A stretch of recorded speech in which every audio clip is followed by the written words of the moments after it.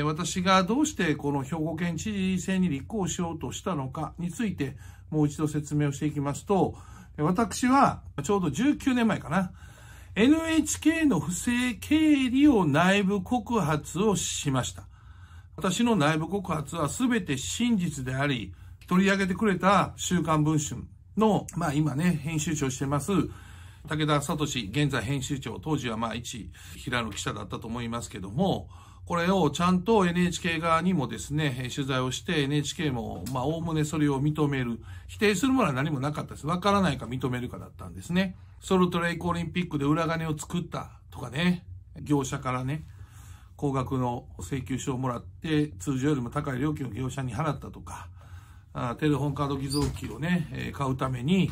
不正な伝票を処理したって、そういう類のものです。で、私は内部告発というのは、そのように正義を持って何よりも真実を通報しなきゃいけないと思ってるわけですね。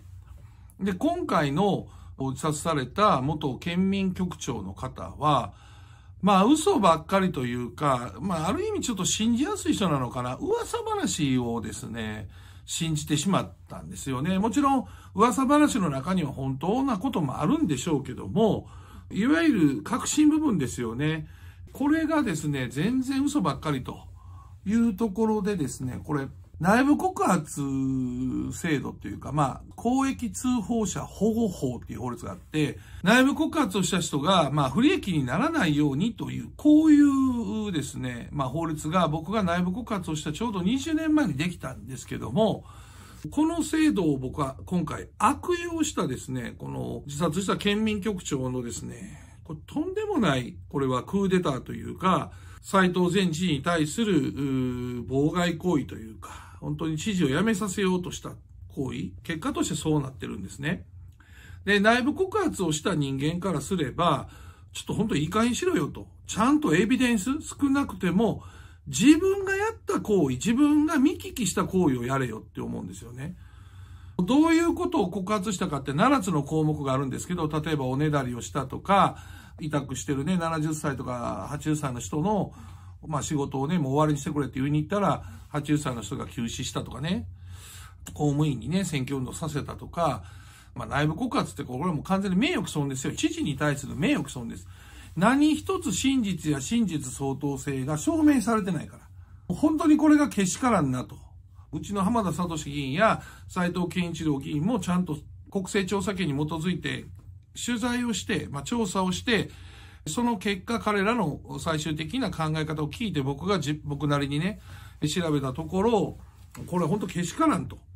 確かに自殺された元県民局長はお気の毒でありお悔やみは申し上げます。これは人として当然のことです。ただ、なぜお亡くなりになったのかって考えたときに、噂話を集めて、いざそれが見つかったときに、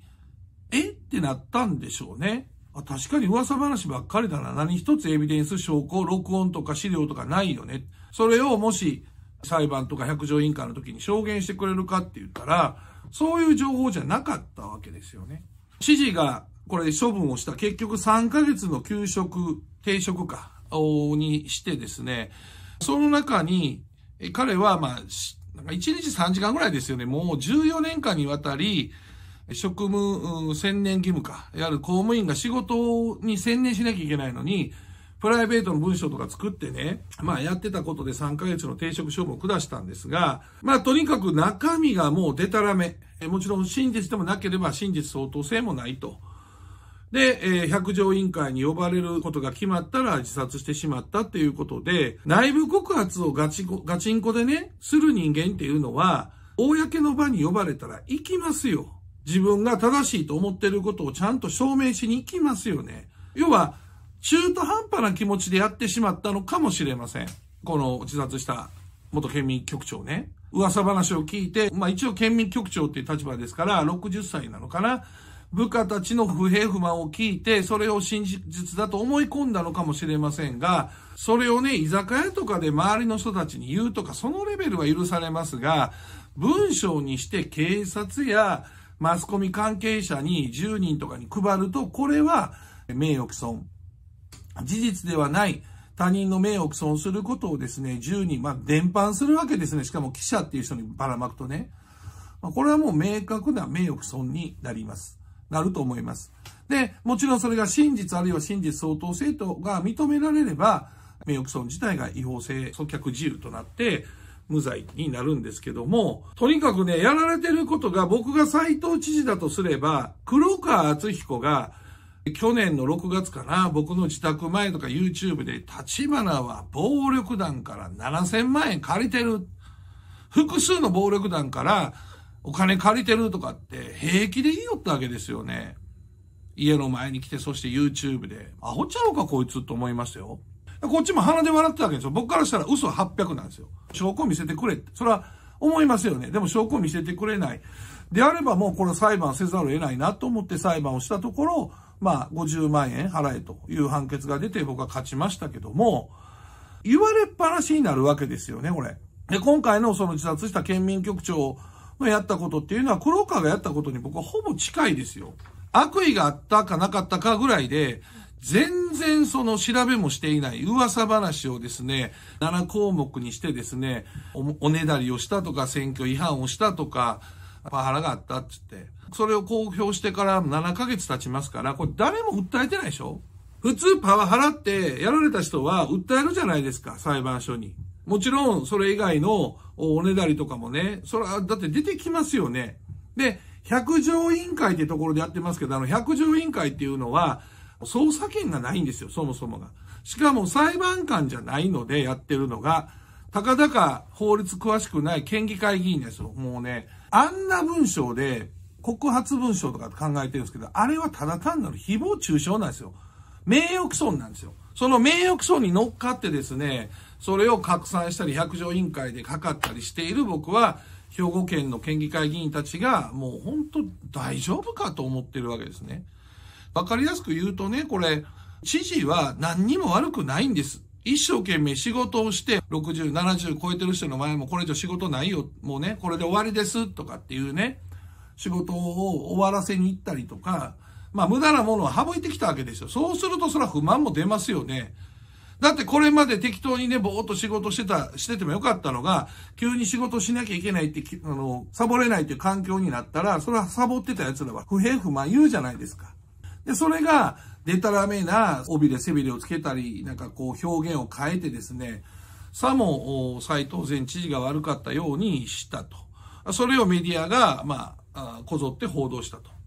ちなみに僕が内部告発をした19年前、週刊文春の記事、どこのテレビ局も取り上げてくれませんでしたよ。全部 NHK が認めてるのにね。週刊文春の記事っていうことで言えば、例のジャニーズ問題ですよね。ジャニー北川氏が何十年にもわたって子供たち、男の子たちに対して性的暴力を振るった。知ってたじゃん。テレビ局は。NHK も含めて。1998年か9年から。週刊文春の中村隆太郎記者が連載十何週か連載して、ジャニー北川の性加害、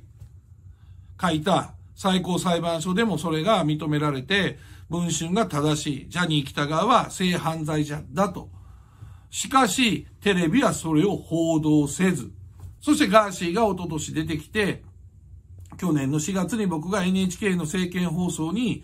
ビデオを持ち込んでですね、元ジャニーズのカウアン君の証言を NHK で放送させた。もちろん BBC の報道もありましたが、私が監修した、えー、性加害に対するビデオが NHK に持ち込まれて、昨年4月に放送されたことによって、やっとジャニーズ事務所が解散に追い込まれた。それぐらいテレビって大事なものであっても、報道しないものがあるんですよ。で、一方で報道したら一方的な報道をしてですね、僕も最初思ってましたよ。斎藤知事って悪い人だと思ってましたよ。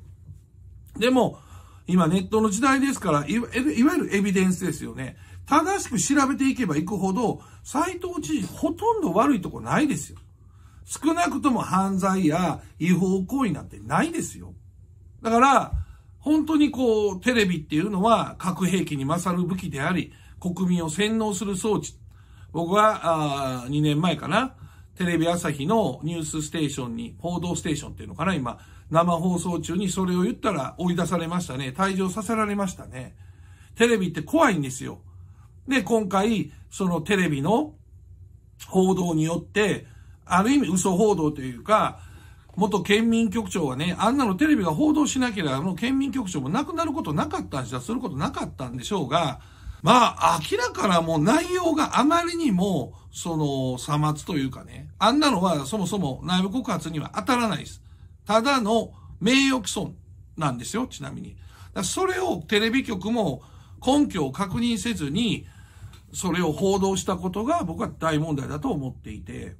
いずれにしても斎藤前知事はめちゃくちゃちゃんと仕事してた。だから足を引っ張られたんですね。で、これについて、えー、直近では兵庫県の明石市、前市長ですね、明石の泉房穂市長、あの、有名な言葉ですね。お前ら火つけて燃やしてこいコンバイって燃やしてこい火つけてこい何しとってんじゃこらっていう、もう、とてもとても市長とは思えない、ね、本職のヤクザみたいなことをですね、市長時代に明石市の職員に暴言吐いたあの泉房穂さん。彼もしかし、その立ち退きをしないね、お家に、ビルか関係者に7年間もね、市の職員が行かなかったから。仕事ちゃんとせずに、たくさん給料もらってたから怒鳴り知らしたんですよ。もちろんそれ褒められたことじゃないですよ。でもその後、泉佐穂さんって市長選にも当選し、今テレビに出て、いろいろとね、公爵言ってるじゃないですか。あの人は本当のパワハラ親父ですからね。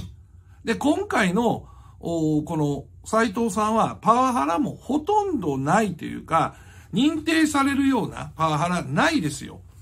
いわゆるこの世はもう明らかなパワハラ、本人も謝らなきゃいけないってパワハラがないですよ。だから斎藤さんめちゃくちゃ優秀なんですが、優秀すぎて今足引っ張られてると。ただ彼は弁が立たないんだと思うんですよね。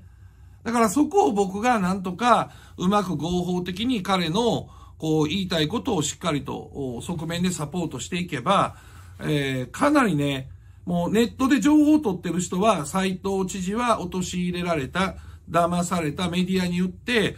悪人だとルフされた。そしてまあ他の県議会議員もそれに乗ったということが理解できると思いますので、まだ選挙これから3週間後になりますから、十分潮目が変わって、斉藤前知事がもう一度知事をするという可能性が僕はあると思っています。いずれにしても僕は内部告発をした人間であり、一方で悪意ある内部告発という名の名誉毀損された被害者、両方の気持ちがわかりますので、今回の件、僕があ選挙に挑戦することによって、一人でも多くの方に、今回のこの兵庫県の内部告発文書事件ではなく、ただのこれは名誉毀損文書拡散事件なんですよ。この事件について真実をしてほしいと思って、出馬表明をさせていただきました。NHK をぶっ壊